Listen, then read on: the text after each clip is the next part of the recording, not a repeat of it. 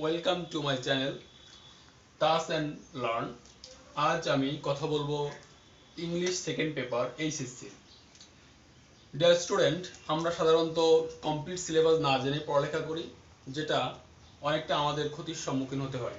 এবং আমরা যে কোনো একটা পার্ট গ্রামার পড়া শুরু করলে মনে হয় এটাই আমাদের লাস্ট সিলেবাস কিন্তু আসলে আমাদের এখানে দেখা যায় যে কমপ্লিট সিলেবাস না জানার কারণে আমাদের প্রিপারেশনটা নিতে খুব সমস্যা হয়। তাই ফার্স্ট আমি আজকে আমরা গ্রামার সম্পর্কে জানব যার তার আগে আমরা সিলেবাস সম্পর্কে জানব। আমরা দেখতে পাচ্ছি এখানে দুইটা পার্টে বিভক্ত। একটা হচ্ছে পার্ট এ গ্রামার সেখানে সিক্সটি মার্ক রয়েছে। এবং পার্ট বি যেটা কম্পোজিশন সেখানে রয়েছে ফোরটি মার্কস গ্রামার এ গ্রামার পার্ট এতে আমরা বারোটা টোটাল গ্রামারের টপিকস রয়েছে। এই বারোটা টপিকসের ভিতরে বারোটা আমাদের পরীক্ষায় আসে এবং সব ছাত্ররা দেখা যাচ্ছে যে প্রত্যেকটা জিনিস টাচ করতে পারে না তাদের কিছুটা নেগলিজেন্সির কারণে। আমি বলতে চাই, যদি আমার চ্যানেলের সাথে থাকো, তাহলে আমি স্টেপ বাই স্টেপ এই গ্রামারগুলোকে ইনশাল্লাহ সহজ করে দিব। আর আজ আমি সেভাবে সাজিয়েছি। আর্টিকেল প্রথমে, তারপর preposition using suitable phrase words, given in a box, using suitable clauses or phrases uses of right form of verbs change of sentence সেখানে ভয়েস আসতে পারে, আবার সেন্টেন্সেও আসতে পারে।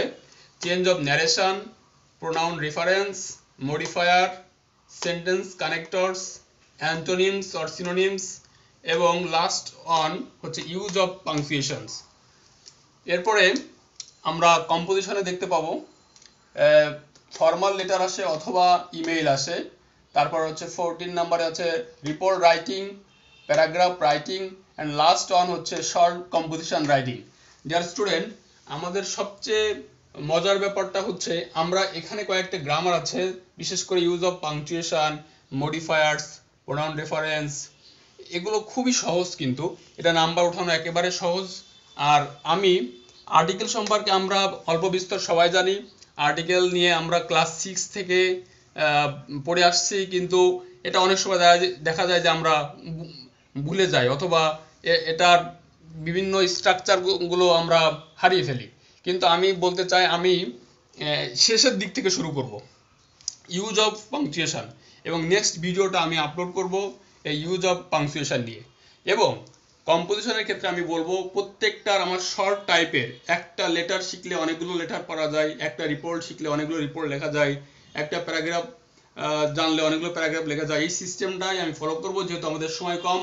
আর এইচএসসি পরীক্ষা তো ইনশাল্লাহ নেক্সট মান্থেই হবে, আশা করছি।